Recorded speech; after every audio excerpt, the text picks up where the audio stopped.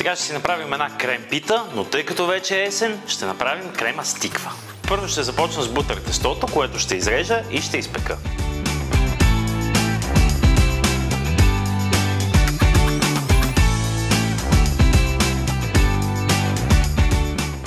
Готово е второто парче тесто.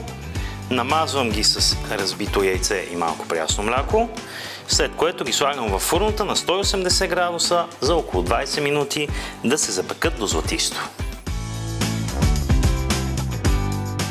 Ще сложа всички съставки заедно в ето тази касерола, ще ги разбия добре, след това ги слагам на котлона и при непрестанно бъркане изчаквам да се сгъсти. Сметана, яйца, захар, жълтъци, ванилия, масло и нишесте.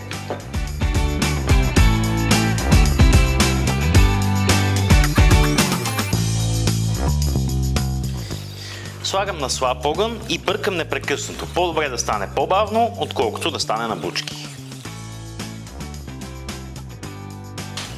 45 минути по-късно. Тестото ни е изпечено, крема ни е почти готов. Сега оставям тези две парчета върху решетка да се охладят и ще довърша крема с тиквата. Ето тук ми е вече изпечената тиква. Ще я сложа в един подходящ съд и ще я пасирам с пасатор.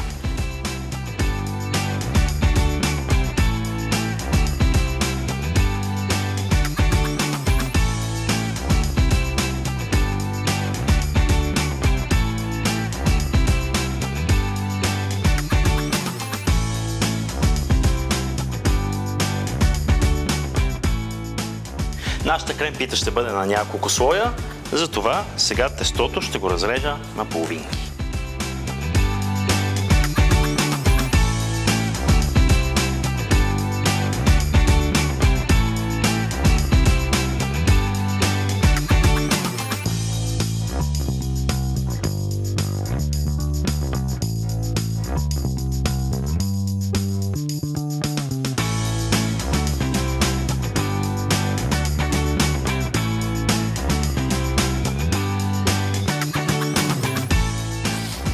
И ето така, нашата крем пита стиква вече е. Оставяме в хладилника за около 1 час да стегне.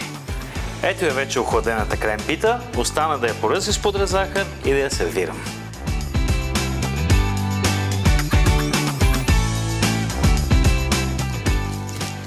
И сега, тъй като Хелуин наближава, ще се възползвам да си хапна от този страшен десерт, докато си правя страшния костюм.